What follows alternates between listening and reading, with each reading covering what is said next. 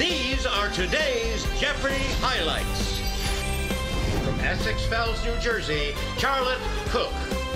Originally from Pennington, New Jersey, Nick Keoki Kilstein. And our returning champion from Walla Walla, Washington, David Sibley. Good luck. Let's jump into the game, shall we? Here are the categories we have for you in the Jeopardy round. Literary professions four. The answer there is the Daily Double. You found it right away, David. In the beginning, as we would say in your line of work, you can wager up to a thousand. Wager a thousand. Here's your clue in literary professions. Wang Lung, when we meet him in The Good Earth. What is a farmer? He is a farmer, you're correct. What's Pakistan? Right. What is Ken Ken? Yes, yes. What is Catch Me If You Can? That's the movie. What's the Kennedy half dollar? Yes. What's an olive branch? That's correct. Takes you to $8,000. You and Charlotte are off to a great start. Nick, you'll get out of the hole in no time in Double Jeopardy. You'll see. We had cash as a category in the Jeopardy round, but there's so much more cash in Double Jeopardy. Here are your categories. 19th century 2000. The answer there is the first Daily Double in the round. You're 3,000 off the lead, Charlotte. 2000.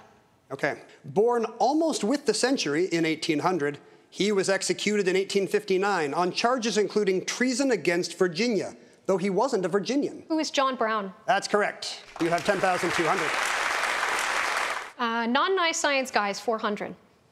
Around 1800, William Nicholson and Anthony Carlisle used a voltaic pile to decompose water into these two elements. David? What are hydrogen and oxygen? Yeah. Who's Fahrenheit? Yes. Who is Niels Bohr? You are correct. Science 2000. The answer there. It's a daily double. 4000.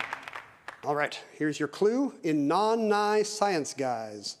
This American found variable stars in the Andromeda Nebula, helping him figure its distance from Earth and getting it renamed a galaxy.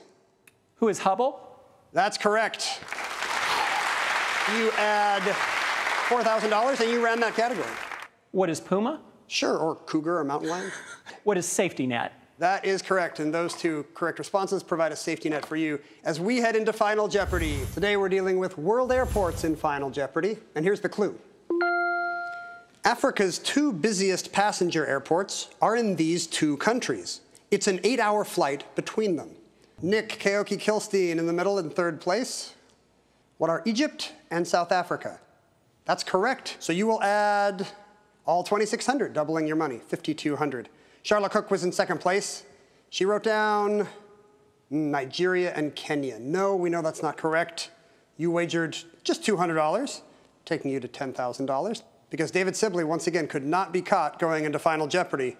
Was he correct? What are Egypt and South Africa? It is. Yesterday he didn't wager a thing. He does it again. Stands pat with $22,400 and a two-day total of $44,200. Congratulations to you, sir. Zero the biblical wager there, to be content with what you've been given. 10% might be the biblical wager, I would say. Looking for more fun Jeopardy videos? The smart thing to do would be to click the subscribe button below.